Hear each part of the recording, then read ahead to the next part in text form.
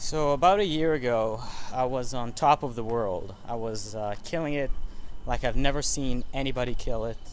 I was making over $15,000 a month, working 10 hours, 20 hours a week, just doing what I fucking love.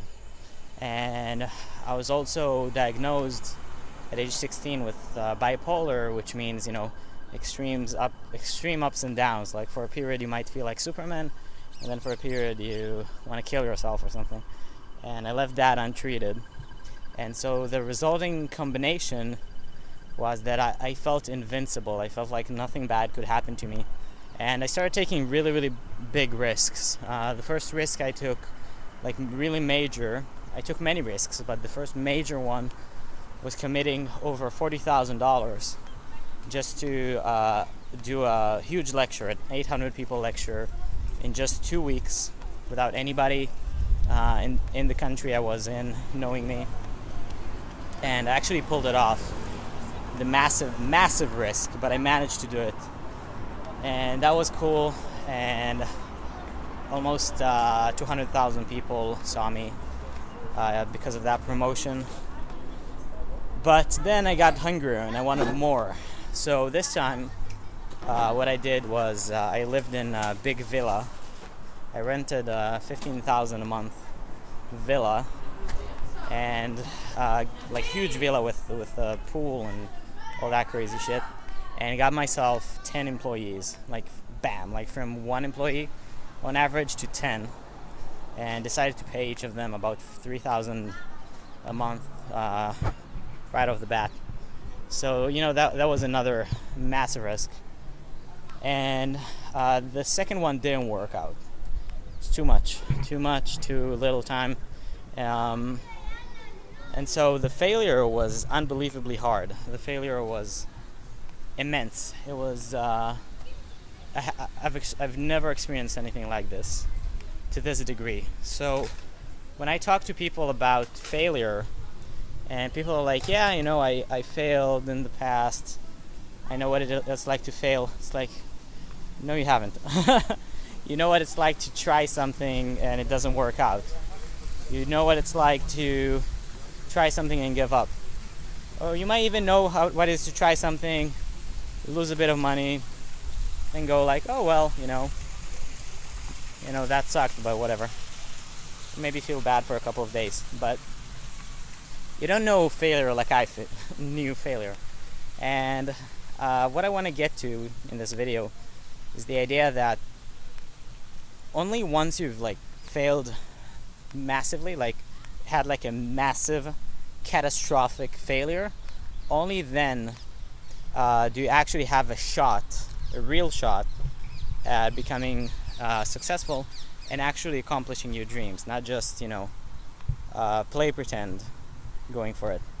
And the reason for that is because you, if you read a lot of success books and you know, listen to motivational talks and all that crap, um, you kind of get this entitlement feeling like, oh, I'm I'm I'm deserving of success. I I'm supposed to be successful. It's it's part of my journey. It's part of my destiny to be successful.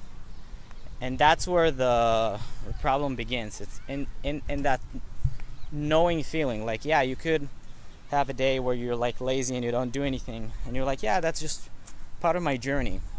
And i like to say that the journey really begins like the real journey uh, because until that it's just a potential but the real journey actually begins only once you actually doubt yourself to the degree that you're like am i supposed to be successful? You know you might even believe that for years and then you're like am i really supposed to be what i think i would be and um, yeah, during that period, I, I thought I was I was really s- seriously thought that maybe my destiny is just to be like a homeless guy or to to kill myself. Something like that because it was so bad so bad impossibly bad. And uh, i truly didn't see any way out of it. This wasn't like a failure where i lost a bit it was I lost everything and then five times more, uh, plus many other things. So once I came out of that, and again, I wasn't supposed to come out of that. And by the way, second, by the way, if you look at all the really, really successful people, like the, the top people in the world, the most high, um, highly uh, uh, respected people in the world, they all suffered at least one catastrophic failure in their life. And that's no coincidence. So once I experienced this ca- catastrophic failure, um, like I said, everything I believed was shaken. I wasn't sure of anything anymore. I didn't know what to believe. It was pretty bad. But um, eventually, uh, you get all these childish beliefs stripped away. So you no longer believe that you're entitled to success. You no longer believe that you deserve success. And your paradigm changes because you realize that you don't really deserve anything. And you, you know, as Grant Cardone says, uh, you eat what you kill. so I, I then realized that whatever I want in life, my goals, I'm not entitled to them. Nothing is promised. Nothing is nothing is guaranteed. And only if I really, really work hard and smart, and also if I'm lucky, uh, because luck has something to do with it, then I might be able might be able to achieve my goals. And that may sound like, oh, that's very um, discouraging. But to be honest, I never worked as hard or as diligently as I am after, uh, you know, since I had this realization. Because what happens when you believe that you're entitled to success is you get lazy. It's like people who are successful, they get lazy because they think they're entitled. Same with people who think they deserve future success, they get lazy. So on the weekend, on Friday, you know, you're like, "Oh, I'm I'm tired, so I'm not going to work today." And then you rationalize it because you're like, "Oh, okay, but I deserve success." So, you know, it's all part of my journey. It's part of the journey. It's a lesson, whatever, whatever.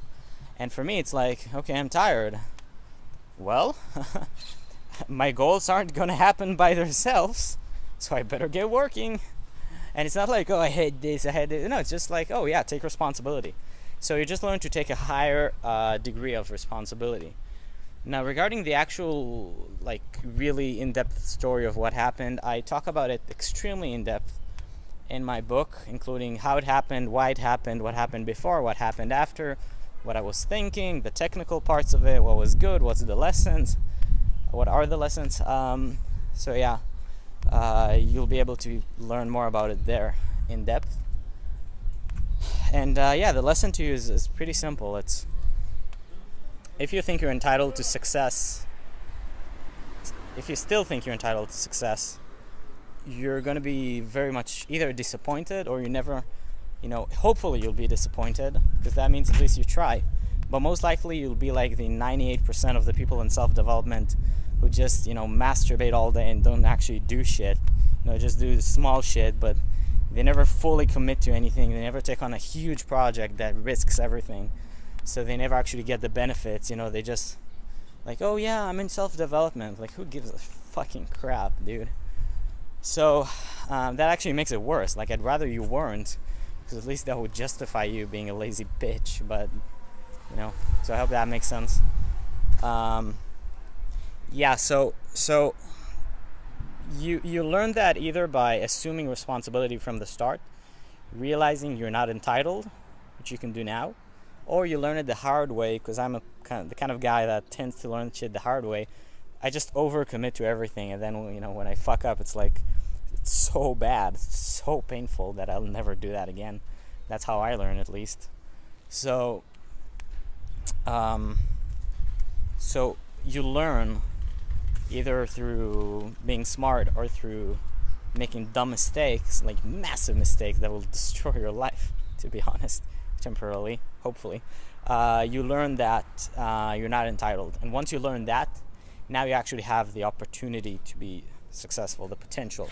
Before you realize that, the fact that you're not entitled, which takes at least one like major catastrophe usually, you're not even in the ballpark because you're still like a child. You're still like a kid, like, oh yeah, I'm gonna be an astronaut one day. I know, I know. And you still haven't really learned that it's a fierce, fierce world and that you shouldn't live in fantasy land. Uh, you should live in the real world where, where they can, that can happen, uh, but it's going to be very, very hard and require also a bit of luck. Uh, so I hope this video helps you a lot. Um, if you haven't subscribed yet, subscribe now please. I would I would thank you very much. Uh, and uh, other than that, you know, I coach. That's what I love most in the whole world. I would die coach. Uh, I would do it for free. I mean, if I could be a multimillionaire while coaching, I, I would do it for free, for sure. Um, so yeah, if you have any problems, feel free to contact me.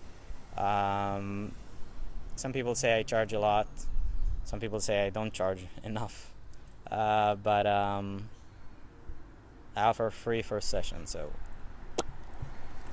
contact me. Thank you.